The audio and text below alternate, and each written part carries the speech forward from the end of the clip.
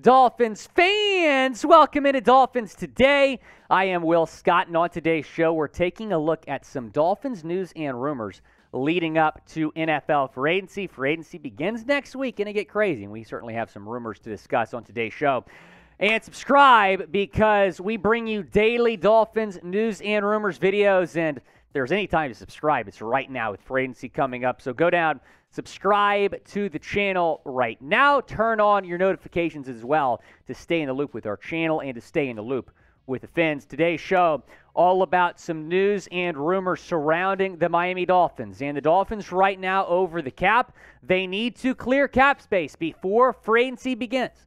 And they have made a big move today in order to do that. They have restructured Bradley Chubb's contract, clearing $14.66 million in cap space. So, right now, after this contract restructure, and this was something that was expected to happen, restructuring Chubb's contract, the Dolphins are now roughly $1 million over the cap. And you might say, well, what about the Byron Jones cap space that was cleared? Uh, well, that was a post June 1 cut designation. Uh, so that money is not going to be freed up technically until June 1st. So, right now, even after this, the Dolphins are still a little bit over the cap. Now, here are some other moves that the Dolphins could make to clear cap space. They could restructure Tyreek Hill's contract, clear about $11 million. I do expect that to happen here very soon. They also could trade Emmanuel Ogbah or Cedric Wilson. Those are two trade candidates right now for Miami. And they could extend Christian Wilkins. And that should happen sooner rather than later, hopefully. So after the Bradley Chubb contract restructure, I would look for those things to happen. I was reading an article the other day that mentioned maybe releasing Jason Sanders to save three million, uh, but I don't expect the Dolphins to do that. What will the Dolphins do next to clear more cap space? Go down in the comments section. Let me know. Honestly, I, I think they're going to trade Cedric Wilson here pretty soon. Uh, do not be shocked if Ced gets traded over the weekend uh, because he just did not have a huge role in this Dolphins offense uh, last year. A move they made recently to clear cap space was releasing tight end Cethan Carter earlier this week, clearing over $2 million in cap space. Cethan did not play after week one. Uh, he suffered a very serious concussion, did not play the rest of the season. So hopefully Cethan gets healthy and has success uh, with his next team. But taking a look at the updated tight end depth chart, uh, Carter uh, is no longer going to be on this list. Tanner Conner, though, uh, is a name to watch here. Maybe he'll get more involved. Adam Shaheen is a free agent. Of course, uh, that trade to Houston got uh, canceled because uh, he failed his physical, but he did not play it all this season with Miami after being placed on IR after the trade did not go through. Mike Gesicki, we're expecting to lose him in free agency. Durham Smythe might have a bigger role next year and then Hunter Long might as well. So it'll be interesting to see what the Dolphins do here. They currently have five tight ends, uh, or well, I guess just three tight ends technically on their roster for next year. They'll probably go out and sign a tight end here in the coming weeks. You're hearing some rumors uh, that maybe Dalton Schultz will be a guy that they go after. But again, some moves, some other moves Miami could make. Restructuring Tyreek's contract. He's owed about $30 million this next year.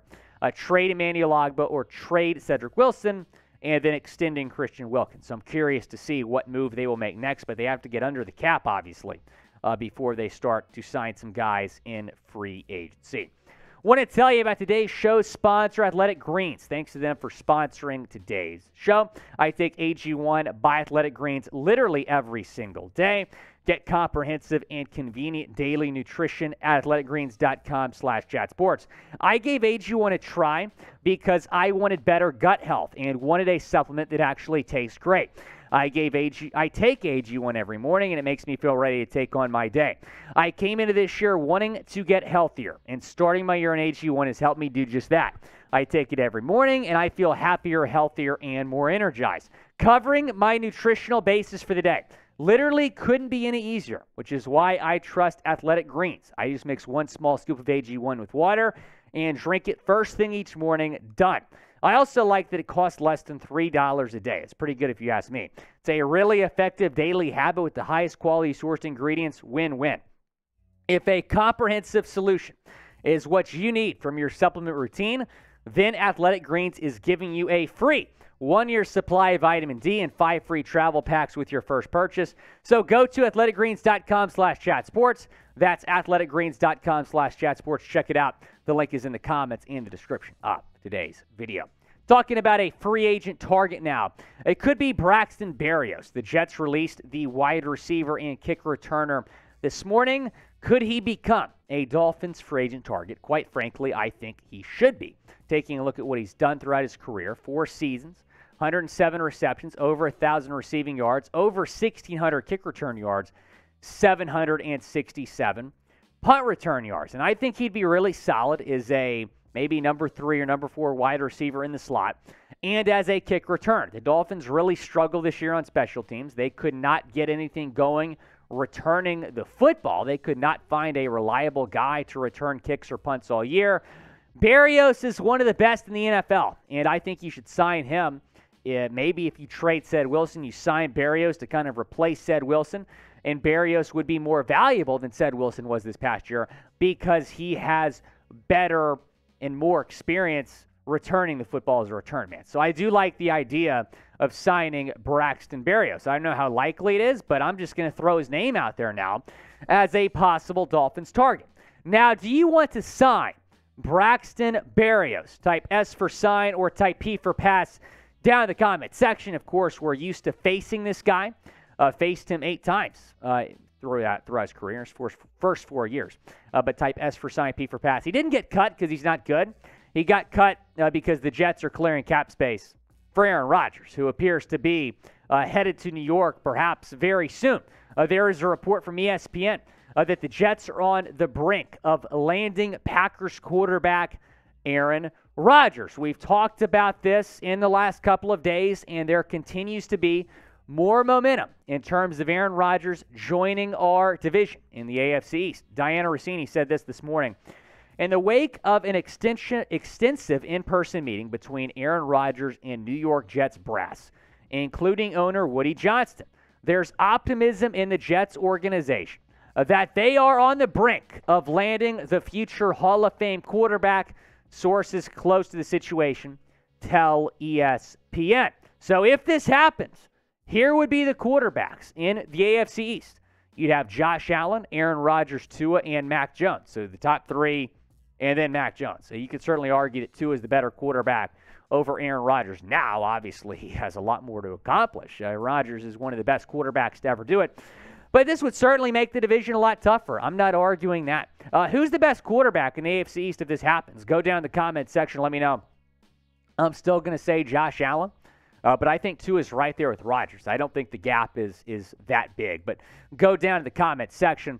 Who is the best quarterback in the AFC East next year if Rodgers gets traded to New York? Want to shout out Mike Pouncey, man. One of the best Dolphin centers to ever do it, maybe the best Dolphin center. Uh, he retired a Dolphin today. The Dolphins gave him a very nice ceremony. He got his aqua jacket. Uh, it's great to see this. Mike Pouncey retiring a Dolphin. Of course, he played for the Dolphins for seven years, then went and played for the Chargers, uh, but he retires a Dolphin today, signing a one day contract.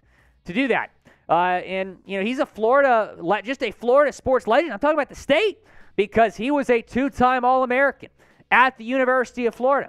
I'm not a Gators fan, but I know a lot of y'all are. So there you go, chomp chomp. Uh, a 2011 first-round pick out of Florida. Spent seven seasons as the Dolphins starting center. 93 career starts in a Dolphins uniform and made for Pro Bowlers. Uh, one of the best to do it uh, in our generation, quite frankly, uh, Mike Pouncey. Type 51, show some love to Mike Pouncey down in the comment section. Uh, go down type 51 show some love to Mike Pouncey.